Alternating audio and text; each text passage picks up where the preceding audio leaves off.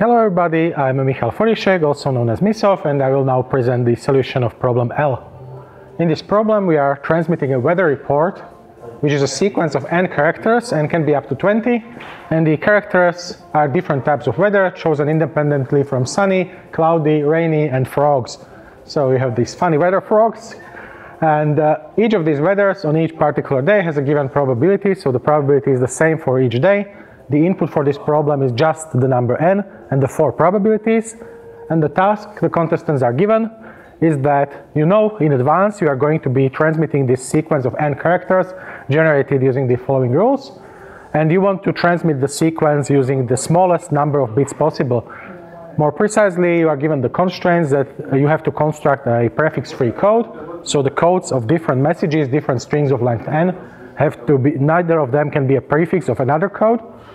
And also you have the constraint that the expected case of your encoding has to be optimal.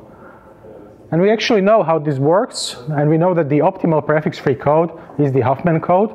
So if n were smaller, or the alphabet were smaller, there would be a slow, inefficient solution that you generate all possible strings. For each of these strings, you can compute the probability as the pro product of the probabilities for the individual days and then you sort all of them or put them into a priority queue and you build the Huffman code, always taking the two events with the smallest probability, merging them together, and so on.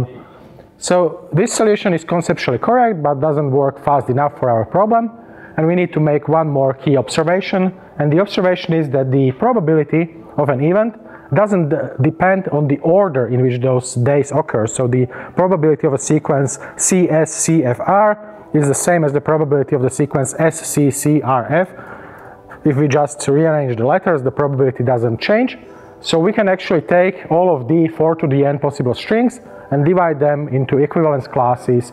In each equivalence class will contain the same number of S's, C's, R's, and F's, and for each of them the probability is exactly the same.